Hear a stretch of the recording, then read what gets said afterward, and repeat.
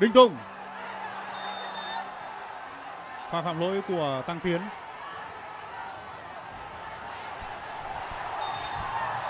Rất nhiều những chai nước đã được các cổ động viên ném xuống sân. Như vậy là trận đấu giữa hai câu lạc bộ, Hoàng Anh Gia Lai và FLC Thanh Hóa, trận cầu tâm điểm của vòng 12 giải vô địch quốc gia đã kết thúc. Kết quả cuối cùng, đội khách FLC Thanh Hóa một lần nữa giành chiến thắng ngay tại Pleiku trước Hoàng Anh Gia Lai.